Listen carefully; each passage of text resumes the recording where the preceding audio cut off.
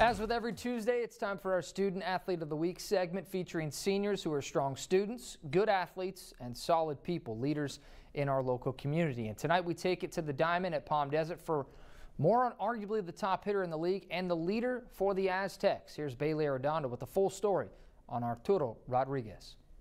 We're back on the baseball field this week. It's about time. And hey, this field has produced a lot of great talent. Aztec baseball always in the hunt in the DEL. And this season, senior Arturo Rodriguez is leading the way and is dangerous inside the batter's box. It's the team. The environment made me made me love baseball. The competitiveness, the when you're at bat, it's just you against the pitcher. The competitiveness made me realize I loved it plays hard. You know, he comes out, he competes every single day. He plays hard. He's one of the first guys on the field and one of the last guys to leave every single day.